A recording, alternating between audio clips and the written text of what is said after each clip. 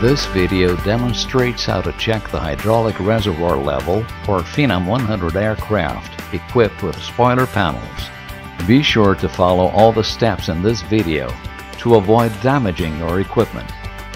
For further information, please check the pilot's operating handbook or the aircraft maintenance manual. The following task must be done with chocks on all wheels. The use of a GPU is recommended to save battery voltage.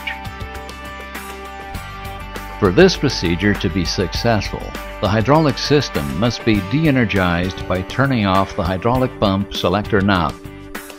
Make sure that the landing gear lever is in the down position.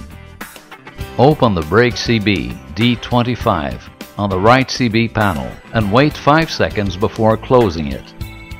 Fully press the brake pedals and keep them in this position for 3 minutes or until the hydraulic pressure on the synoptic page stops decreasing and is less than 100 psi.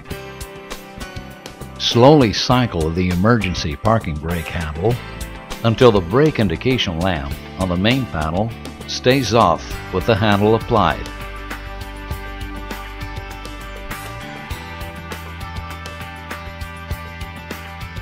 Check the nitrogen pre-charge of the emergency parking brake accumulator in the synoptic page and compare it with the nitrogen pre-charge chart available in the POH.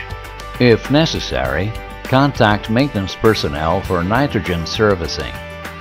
Open the hydraulic system fluid level indicator access door and the hydraulic accumulator dump valve access door. Dump the hydraulic accumulator by pressing the dump valve on the hydraulic power pack and make sure that the two differential pressure indicators are not extended. On the hydraulic fluid level indicator, make sure that the indication is between the red and green lines. Coming up, some examples.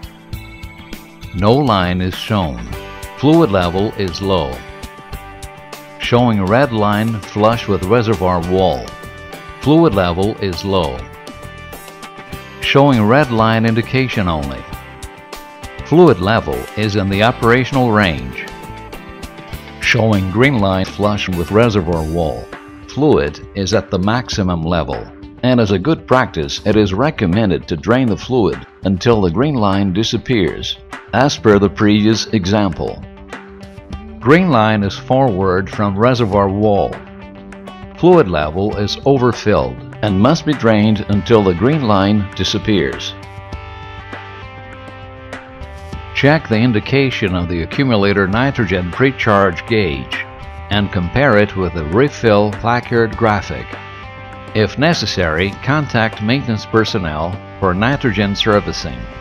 After this procedure is accomplished, the engine start must be done with chocks on all wheels or the hydraulic pump selector knob must be switched to the auto position and then wait 50 seconds before applying the parking brake.